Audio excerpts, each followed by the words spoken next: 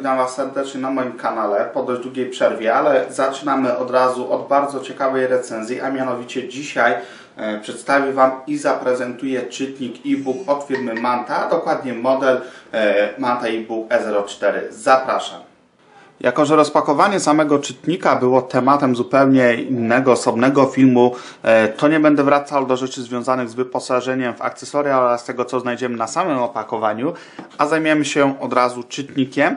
I jednym z akcesoriów tutaj podstawowych, który e, jest dołączony do zestawu, to jest etui, moi drodzy. Nie bez powodu, ponieważ samo etui e, robi bardzo dobre wrażenie, jeżeli chodzi o solidność wykonania i jego funkcjonalność. Jest e, to etui, które nie jest etui uniwersalnym, jest modelem zaprojektowanym specjalnie właśnie do współpracy z czytnikiem Manta eBook 04. Ta wersja, która dotarła do testów, jak widzicie, to jest wersja biała i faktycznie to W e, na końcu oznacza wersję kolorystyczną czytnika, e, a nie, że posiada Wi-Fi. No ale o tym kilka słów za chwilę. Sam czytnik, moi drodzy, wykonany jest, a właściwie jego budowa wykonana jest z tworzywa. W tym przypadku jest to tworzywo białe, matowe, e, które posiada taką antypoślizgową powierzchnię, także czytnik leży e, dosyć pewnie w dłoni. Natomiast ja mam wrażenie, że te tworzywo będzie miało taką tendencję do żółknięcia. Aczkolwiek mówię, to jest moje wrażenie. Co do wykonania. Tutaj zaczynamy niestety od minusów. E, na część z nich zwróciłem Waszą uwagę e, już tutaj przy rozpakowaniu, a mianowicie spasowanie elementów obudowy. Niestety e, to idealne nie jest i widoczne zwłaszcza przy elementach właśnie do mocowania przy etui, że po prostu ten plastik się rozjeżdża i też pary są nierówne. To nie wszystko, ponieważ moim zdaniem większą wadą jest tutaj samo gniazdo na kartę pamięci microSD. E, to, że to gniazdo jest i mamy możliwość rozszerzenia pamięci czytnika z tych podstawowych 4 GB, to jest oczywiście ogromny plus i ogromna zaleta. Natomiast moim zdaniem samo gniazdo, samo umiejscowienie gniazda e, mogłoby być lepsze. Myślę, że jest to widoczne dla Was.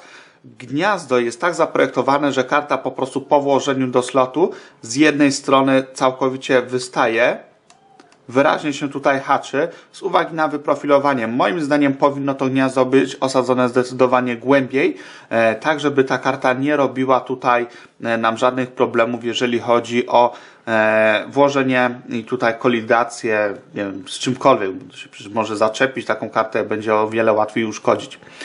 Jeżeli już jesteśmy na dole, zobaczmy na porty. Tutaj mamy przede wszystkim wyjście słuchawkowe. Czytnik e-book Manta 04 umożliwia nam również odtwarzanie e, plików audio w kilku najpopularniejszych formatach, również w formatach bezstratnych, co jeżeli ktoś lubi sobie posłuchać muzyki przy czytaniu książek, będzie na pewno dużą wartością dodaną i z tymi plikami radzi sobie jak najbardziej poprawnie. Mało tego, e, dostęp do funkcji muzycznych mamy również tutaj przy okazji E, menu kontekstowego, trudno to raczej nazwać, ale podczas czytania już po prostu bezpośrednio książki. Slot na kartę pamięci, o czym już tutaj wcześniej e, mówiłem. Karta normalnie jest wyjmowana. Możecie zobaczyć, że ona w ten sposób właśnie jest włożona, że wystaje.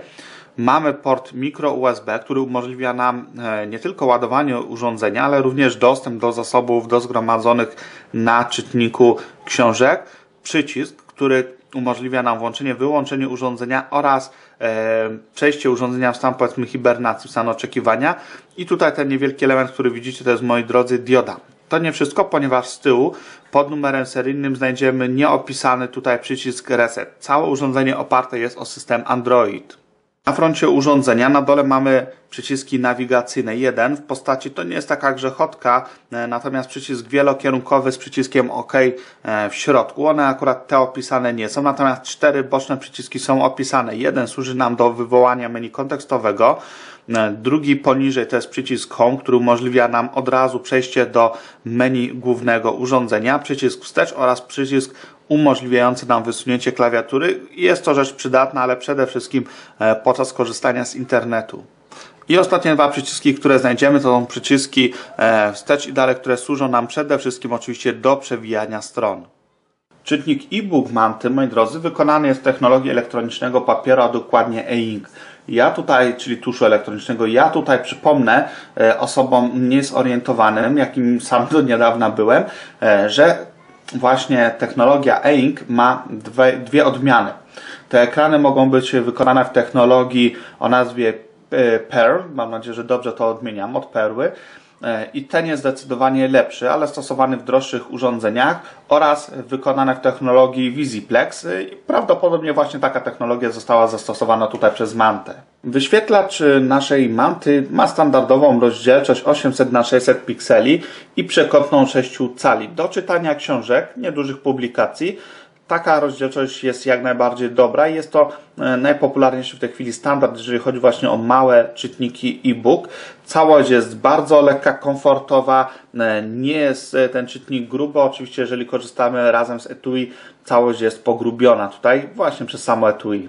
Tak prezentuje się menu główny, ekran główny naszego czytnika. I przede wszystkim tak, co tutaj znajdziemy? Datę oraz godzinę, stan naładowania baterii, teraz czytane. Jest to książka aktualnie przeze mnie czytana. W tym momencie, jak widzicie, jestem na 780 stronie e, Śnienia Stephena Kinga. E, poniżej mamy ostatnio czytane. Tutaj widzicie dwa te same tytuły Doktor Sen, e, też Kinga, a to wyjaśnię Wam dlaczego za momencik. I poniżej mamy zakładki, które odsyłają nam do kolejnych funkcji. Biblioteka, zakładki. W zakładkach znajdziemy tutaj e, podział na książki oraz zakładki, które sobie pododawaliśmy. Tych zakładek, jak widzicie, można w zasadzie dodawać ile komu się podoba. Przyciskiem wstecz cofamy się dalej.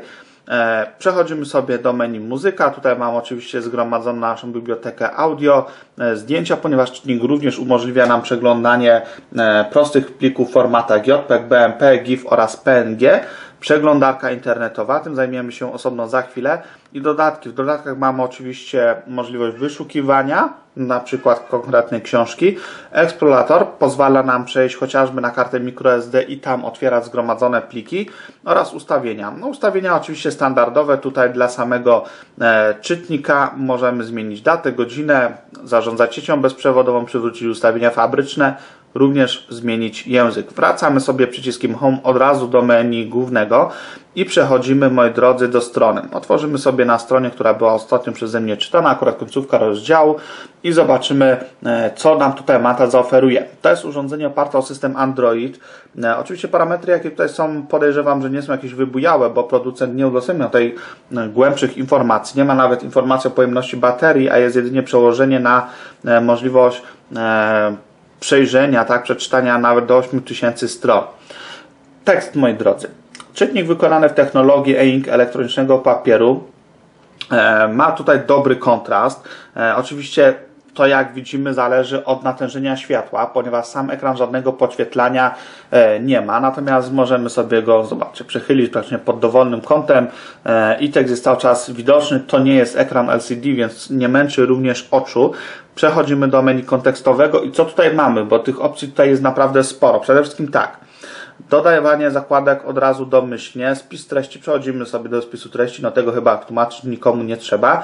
E, lista zakładek. W dowolnym momencie możemy cofnąć się do wcześniej zapisanej e, zakładki lub nawigować ją według strony, wyszukać konkretnej frazy, konkretnych e, rozdziałów. Obrót ekranu umożliwia nam czytanie również w pozycji nie portretowej, a horyzontalnej. Czarny ekran, to Wam może pokażę, bo może być funkcja ciekawa mamy do wyboru dwie opcje, czarny lub biały. W tym momencie mamy czarny, co oznacza nam czarny tekst. Jeżeli weźmiemy sobie tekst biały, e, cała reszta robi nam się czarna, a sam tekst biały mi osobiście się źle czyta i poza w zasadzie taką funkcją testową e, nie korzystałem z tego najdłużej. Ja jednak e, wolę tradycyjny e, tekst, czyli czarny tekst, białe tło. Tak sobie przejdziemy. Jak widzicie, wykonanie jakiejkolwiek opcji troszeczkę tutaj urządzeniu zajmuje. Zaraz zobaczycie, jak to wygląda w przypadku przewijania poszczególnych stron. Czcionek do wyboru mamy trzy w zasadzie. Domyślna, serif oraz sin serif te czcionki moim zdaniem są raczej jako ciekawostka, przynajmniej dla mnie, bo najbardziej mi się, e, najlepiej mi się czyta na tej czcionce właśnie domyślnej. E, I kolejna rzecz, którą możemy robić ze, z czcionkami, no to oczywiście e, zarządzać jej wielkością i tutaj mamy spore pole do popisu, od czcionki małej poprzez średnią, dużą, dużą, bardzo dużą i dodatkowe jeszcze powiększenie. To powiększenie możecie traktować śmiało jak taką funkcję lupy. Jak duże są różnice? No zobaczmy na przykład czcionkę nie dużą, a i ekstra dużą. E, oczywiście chwilę musimy tutaj poczekać. Automatycznie nastąpi również przeliczenie stron. E, jak widzicie, w tym momencie jestem na 2046 stronie z 2581 stron. Nie pokazuję tego również bez przyczyny, ponieważ jeżeli korzystacie z czytnika e-book na przykład e, w komunikacji miejskiej, w pociągu, podczas długiej podróży, gdzie tam o, lata, lata, no wiecie jak to polskie PKP, tu jeszcze ktoś was szturchnie, no to tak, się czyta tą książkę potem, w efekcie o, jeszcze z dodatkowymi efektami, no to mała czcionka będzie tutaj nieczytelna i takie czytanie trudno będzie nazwać komfortowym, a dzięki temu możemy sobie dostosować e, wielkość czcionki, rozmiar czcionki do własnych preferencji. To oczywiście jest e, funkcja, którą posiadają również inne czytniki, e, również w takich cenach. Także jest to, nie jest to jakiś duży plus, natomiast najbardziej jest to wartość dodana. Wróciliśmy sobie do naszej czcionki normalnej. Idziemy dalej, moi drodzy. Marginesy. Również mamy możliwość ustawienia marginesu. W tej chwili on wynosi 0. Jak widzicie, ten margines pewien jednak jest. I to wystarcza w zupełności. To samo dotyczy e, odstępu i przechodzimy sobie na drugą stronę menu kontekstowego. E, tutaj mamy możliwość zrobienia notatek, dodawania notatek i funkcje muzyczne. To o czym właśnie wspominałem. Informacje o książce e, oraz automatyczne przewracanie stron. Jeżeli czytamy sobie jakąś książkę dłużej, czytamy mniej więcej z tą samą prędkością, czytnik może nam stronę przewracać automatycznie. Natomiast mnie to teraz nie interesuje, a przede wszystkim dlatego, że no, książka jak książka, mamy różną tą ilość e, stron, tak, e, różną ilość tekstu na stronie, raz czytamy wolniej, raz czytamy szybciej, ktoś tam może nam jeszcze przeszkadzać. I jak teraz wygląda sprawa przewinięcia strony. Moi drodzy, idziemy sobie do przodu. No, jak widzicie, chwilkę to trwa. Przy takim pojedynczym przerzuceniu strony nie ma praktycznie żadnych większych problemów. Natomiast jeżeli chcemy kilka stron przewinąć jednocześnie, na reakcję musimy troszeczkę poczekać. No i jak widzicie, e, odświeżenie tego ekranu też jakieś błyskawiczne nie jest. Dla osoby, która czyta bardzo szybko, może to być minus, należy to zaznaczyć. Natomiast ja aż takim szybkim czytaczem nie jestem i dla mnie prędkość działania tego czytnika jest tutaj wystarczająca. Co się tyczy czasu pracy na baterii. No, producent podaje tutaj 8000 stron, do 8000 stron. E, ja w tej chwili jestem na właśnie 780 stronie, na początku rozdziału, jak widzicie ubyła mi jedna kreska. Natomiast tak dobrze aż nie jest, e, ponieważ ten czytnik również był testowany z wykorzystaniem Wi-Fi, gdzie to Wi-Fi było włączone w tle, i ja już raz ten czytnik e, ładowałem. Ja przeczytałem 780 stron, moja żona, jak dobrze pamiętam, chyba około 140 e, tej samej powieści zresztą. E, I czytnik był tutaj raz ładowany ale przede wszystkim dlatego, że był aktywny tryb Wi-Fi. No i teraz sobie włączymy to Wi-Fi i zobaczymy jak wygląda przeglądanie stron. Menu wyboru oraz łączenia sieci całkowicie standardowe, w zasadzie to, czego można było się spodziewać, jeżeli wejdziemy, już jesteśmy połączeni. E, taką informację również mamy e, na wyświetlaczu i możemy teraz przejść do przeglądarki internetowej, moi drodzy. Przeglądarka internetowa, jaka została tutaj zainstalowana, oczywiście umożliwia nam przeglądanie stron www, jakże inaczej. Czas reakcji no jest tutaj dosyć, że tak powiem, ograniczony. E, mamy od razu kilka predefiniowanych e, ustawień. Możemy sobie klawiaturę wysuwać, chować. E, tak, przecież będziemy wpisywali adresy. I przejdźmy na przykład do WP. Ja zawsze no, na WP wpisuję, bo jest po prostu krótko, jakoś tak pod ręką to mam. Zobaczmy, jaki będzie czas ładowania strony, moi drodzy. Czytnik Manta eBook 04 nie nadaje się, moi drodzy, do takiego normalnego, codziennego korzystania z internetu. E, przede wszystkim mamy ograniczenia w postaci chociażby e, flash, to dodatkowo musicie się uzbroić, jak sami doskonale zresztą widzicie, naprawdę sporą e, dozę cierpliwości, żeby z tego internetu korzystać. Natomiast jest to wartość dodana i jeżeli na przykład korzystacie z różnego rodzaju bibliotek elektronicznych dostępu do plików, to jesteście jak najbardziej w stanie w tym momencie tym czytnikiem się połączyć. Natomiast pamiętajcie, e, że korzystanie z internetu nie pozostaje tutaj bez wpływu na oczywiście czas e, pracy na baterii.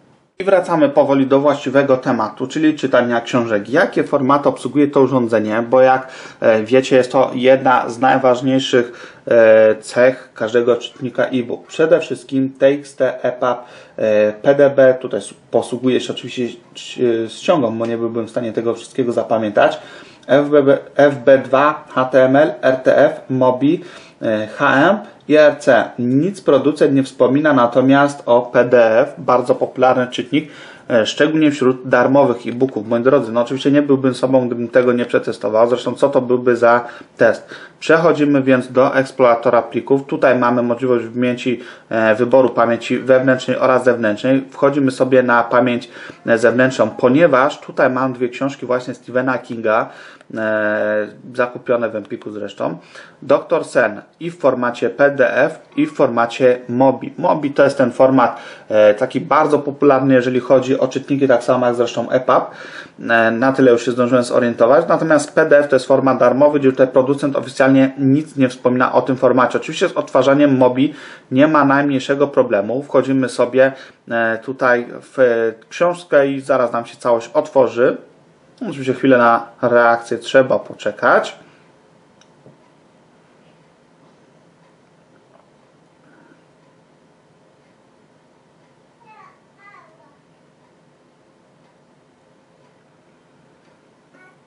No i książkę mamy w zasadzie gotową do e, czytania. Nie ma problemu, jest skalowanie czcionki, wszystko w najlepszym e, porządku, tak jak być powinno. Natomiast przechodzimy sobie teraz do formatu PDF. I co będzie tutaj? Czy czytnik nam otworzy ten format? Otworzy nam, moi drodzy, ten format. Natomiast tutaj nie ma już e, takiego skalowania, jak powinno być. No i zobaczcie, że o ile sam format bez problemu jest odtwarzany, e, tak czcionka jest tutaj mała no i w zasadzie nie mam możliwości jakichś wielkich zabaw e, już tą czcionką, ponieważ zostało sporo opcji e, wygaszonych. Wybrać sobie możemy. E, natomiast komfort czytania, no to już nie jest to, ponieważ skalowanie odbywa się inaczej niż w przypadku takich powiedzmy tradycyjnych książek. I jak widzicie, trzeba przewijać również całe strony. Dlatego, być może dlatego właśnie producent tutaj nie umieścił informacji o zgodności z PDF na specyfikację czy w specyfikacji tego urządzenia. Po pewnym czasie bezczynności urządzenie samo przechodzi w stan uśpienia. E, natomiast jak widzicie ekran, który jest widoczny w tym momencie na wyświetlaczu różni się od tego co było na początku, ponieważ urządzenie nie jest w tym momencie wyłączone. Gdybyśmy mieli aktywny na przykład tryb Wi-Fi, e, cały czas połączenie z siecią jest i niestety, ale w takim trybie czuwania e, czas pracy na baterii skraca się zdecydowanie i po w zasadzie dwóch dniach następuje całkowite rozładowanie urządzenia, nawet jeżeli z niego nie korzystamy. Dlatego należy pamiętać, aby ten czytnik po prostu po czytaniu wyłączać. Żeby powrócić do menu wystarczy chociażby raz wcisnąć, krótko wcisnąć e, przycisk włączenia, wyłączenia na dole czytnika. I jeżeli kończymy czytanie, a my powoli kończymy recenzję, wystarczy przytrzymać na dłużej włącznik, e, wyłącznik urządzenia i poczekać, aż po prostu urządzenie zostanie e, wyłączone. Jak widzicie, nie zawsze załapie od razu,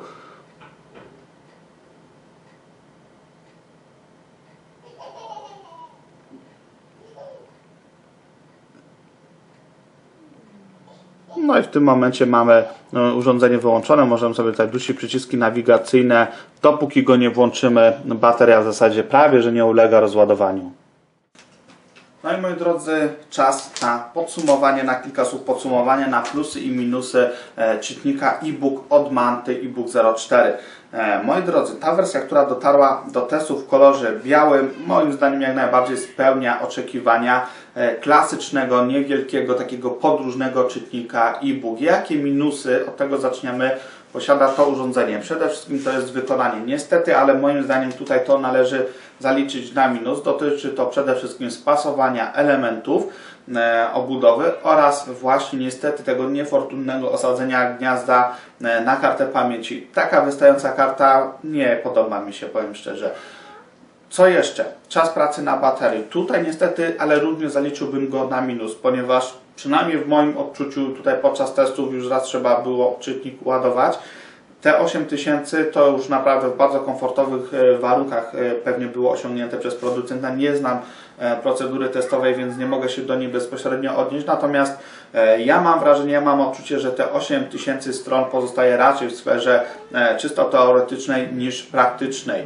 Kolejna rzecz, e, którą bym tutaj zaliczył na minus e, tego urządzenia, to jest czas, e, może czas działania to jest źle powiedziane, ale szybkość działania. Urządzenie oparte na jądrze Linuxa. Całość nie zawiesiła mi się ani razu podczas testów, natomiast obsługa, zwłaszcza na przykład internetu Wi-Fi, wymaga tutaj no, sporej dozy cierpliwości. W przypadku takiego klasycznego czytania książki e, nie ma to większego znaczenia, nawet ten wolny stosunkowo czas przewijania tych stron. E, natomiast podejrzewam, że osoby, które czytają zdecydowanie szybciej niż ja, e, mogą się tutaj na tym polu troszeczkę niestety, ale zawieść. Jakie plusy natomiast posiada czytnik e-book Manty? Tych jest zdecydowanie więcej. Zacznijmy od wyposażenia w akcesoria, ponieważ tutaj od chociażby samego etui, poprzez oczywiście wyposażenie wszystkie przewody, jak najbardziej na duży plus, ponieważ na akcesoriach widać, że producent tutaj nie poszczędził i to urządzenie dzięki temu też będzie nam służyło dłużej. Kolejna rzecz to jest, e, może zacznę od tych troszeczkę mniej ważniejszych e, plusów, to jest pamięć. Aż 4 giga. Nie wspominałem o tym wcześniej, e, jednak e-book 04 wyposażony jest w 4 giga pamięci flash na dzień dobry do naszej dyspozycji, a to pozwala, w zależności oczywiście jaki format e, książki wybierzemy, na zapisanie tutaj dosłownie tysięcy książek. Zobaczcie, książka e, Kinga w pliku MOBI, czyli takim jednym z popularniejszych, niecałe 2 MB, prawie 1000 stron, także e, tych książek tutaj można naprawdę całą bibliotekę sobie umieścić, to bez rozszerzania pamięci. MP3 ja osobiście czytając książkę raczej nie słucham muzyki. Rzadko, zdarza mi się, ale rzadko. E, natomiast wiem, że są osoby, które lubią sobie czytając posłuchać muzyki, nie potrzebują do tego osobnego urządzenia. Wystarczy chociażby na kartę pamięci e, wrzucić sobie swoje ulubione MP3, podłączamy e, słuchawki i słuchamy sobie muzyki. Jeżeli chcecie posłuchać muzyki również w formacie bezstratnym, na przykład FLAC, bardzo popularne, Manta również te formaty odtwarza, sprawdzone w praktyce. I przechodzimy do tych plusów bardziej istotnych, a przede wszystkim ekran. Ekran wykonany w technologii elektronicznego papieru e-ink. Jego rozdzielczość to 800 na 600 pikseli i wielkość 6 cali. Całkowicie wystarcza do komfortowego czytania książki w łóżku, nie wiem, w komunikacji, tak? E, w każdej wolnej chwili w zasadzie czytnik jest pod ręką, bo jest nieduży, jest lekki, a jednocześnie wystarczający kontrast moim zdaniem jak najbardziej na bardzo dobrym poziomie. Co do samego ekranu, on jest, nie jest całkowicie błyszczący, nie jest całkowicie matowy. Bez problemu również w mocnym świetle oczywiście jesteśmy w stanie sobie książki dzięki temu czytać. Zostaje nam powoli e, jeszcze jeden aspekt, czyli obsługa samego urządzenia. Ta jest intuicyjna. Ja nie mając wcześniej do czynienia z żadnym czytnikiem e-book, odnalazłem się tutaj bez najmniejszego problemu. E, nawet problemem nie było to, że no, chociażby przyciski e, te środkowe nie były w żaden sposób opisane. Jakieś coś takie naturalne, że środkowy to będzie ok, a boczne służą do nawigacji. I ocena ostateczna. Powiem Wam tak, ja nie miałem okazji porównywać czytnika Manty e, chociażby z najpopularniejszym na polskim rynku produktem Amazon. Natomiast gdybym zakupił taki czytnik tutaj tak, od naszego rodzimego producenta, nie żałowałbym wydanych pieniędzy, ponieważ to urządzenie spełnia wszystkie moje oczekiwania, mimo tego, że troszeczkę przymula, mimo tego, że jego wykonanie pozostawia trochę do życzenia, nadaje się idealnie do czytania książek. Ten czas pracy na baterii, choć daleki od zakładanego e, przez producenta, czy tego, o którym producent nas informuje, jak najbardziej jest tutaj na bardzo dobrym poziomie, ponieważ przez cały ten okres testowy, zobaczcie, kiedy było rozpakowanie, czytnik był tylko raz ładowany, a czytane było codziennie. Co prawda po kilkanaście, góra kilkadziesiąt stron, jednak używany był codziennie. W tym czasie również wykorzystywane było Wi-Fi, wykorzystywany e, był odtwarzacz MP3, no bo cały czytnik trzeba było przecież przetestować. E, tak więc ja jak najbardziej jestem zadowolony z tego czytnika i suma summarum wychodzi na plus. To by było na tyle w tej recenzji. Ja Wam dziękuję i zapraszam do następnych filmów.